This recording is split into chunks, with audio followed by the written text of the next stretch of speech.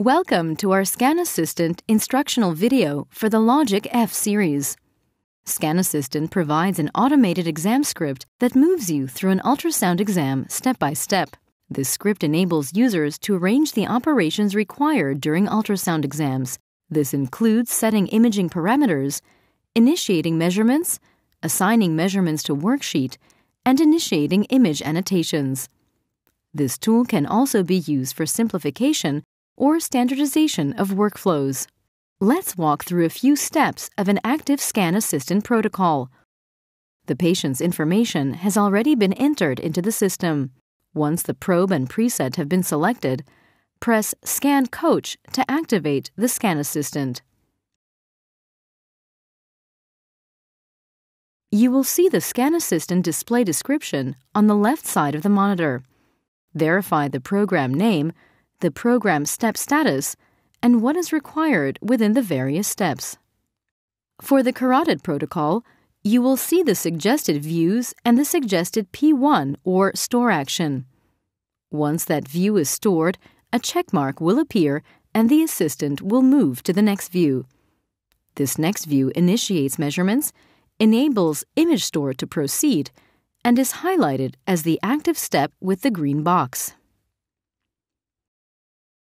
You have the ability to pause Scan Assistant within an active protocol by pressing the Pause button on the bottom of the left side of the Scan Assistant menu.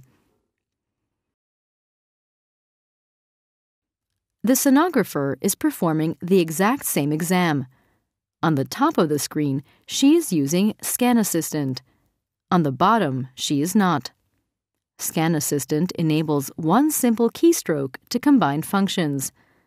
Otherwise, the sonographer must interact with the system all across the console. One option to configure is that ultrasonic scanning procedures may be completed by clicking Freeze Unfreeze under the guidance of the software. The freezing unfreezing can be executed through the settings in the utility, including the foot pedal. Let's walk through a few steps to configure Scan Assistant for your department needs you already have access to several protocols that come with the system, and you can customize these protocols using the Scan Assistant Creator in Utility. First, let's show you where to find the protocols that are available on the system and can be displayed for use. Enter Utility, select Scan Assistant, and then the Scan Assistant Manager tab.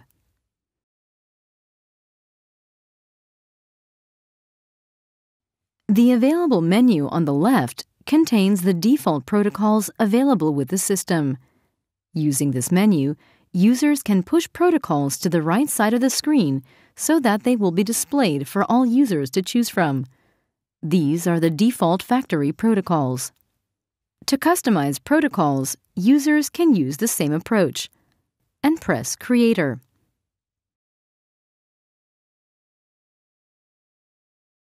This concludes our Scan Assistant instructional video for the LOGIQ F series. For more details, you can contact your local application specialist in GE Healthcare. GE Imagination at Work